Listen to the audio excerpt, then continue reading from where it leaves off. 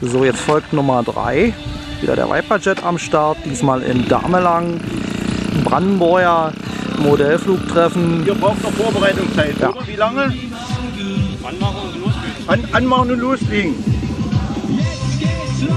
So, mach mal. Geh mal. Kommt ihr vor?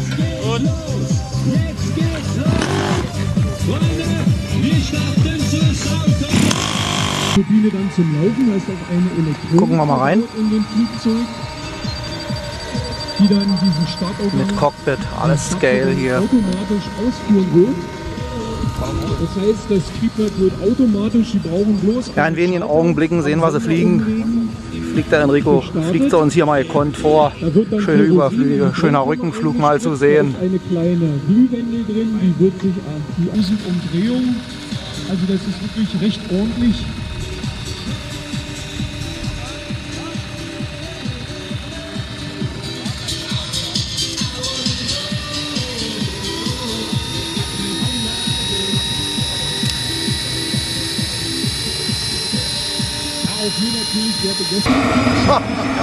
Das ist der Sound.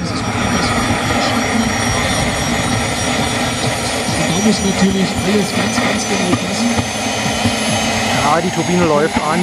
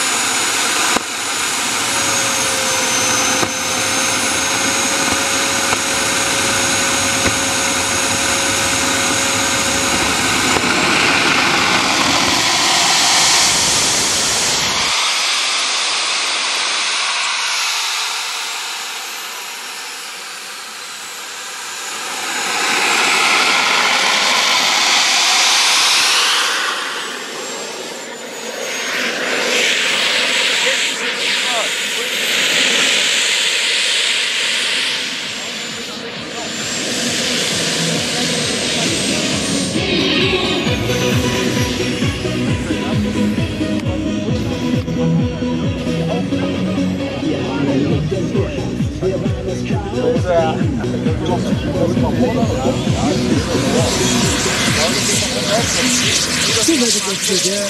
Enrico hat Maschine startklar gemacht. Und schauen mal, wie viel Stück das Modell hat. Ich schau mal hier auf meine Informationskarte. Das Modell wiegt 16 Kilogramm und die Turbine, die da verbaut ist, liefert uns jetzt hier einen Schub von 18 Kilo. Also hat die Maschine mehr Leistung als sie überhaupt benötigt, weil normalerweise bräuchte man um 60 Kilo in die Luft zu bringen, 60 Kilo Schub. Diese Maschine hier ist mit 2 Kilogramm Schub übermotorisiert, deswegen kann er wirklich hier solche extremen Manöver mit dieser Maschine fliegen.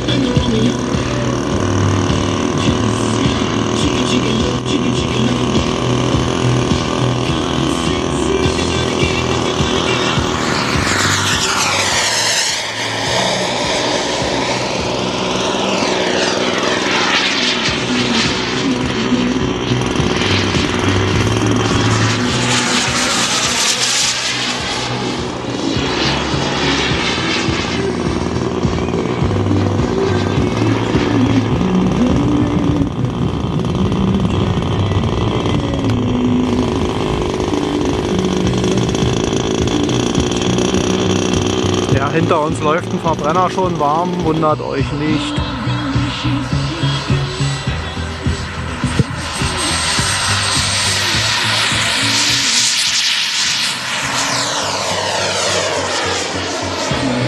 Ja, werde gestern war jetzt eben gerade noch mit dem Piloten hier zugange. Jetzt kriegen Sie natürlich wieder ein paar Randinformationen zu dem Enrico sein Jet.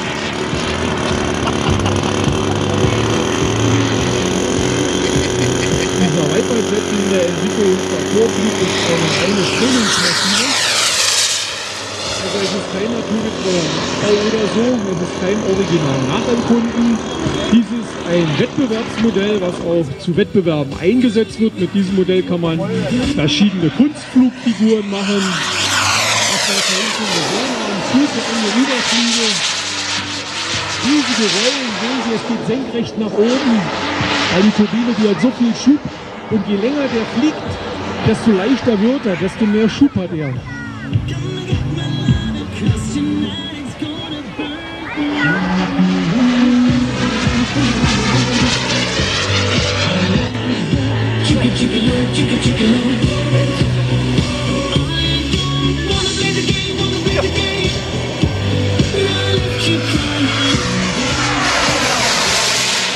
Landung.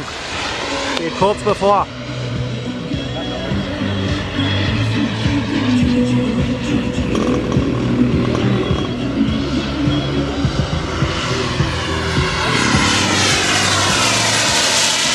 Sie jetzt mal auf das Modell achten, werte Gäste, dann sehen Sie, dass das Fahrwerk ausgefahren ist.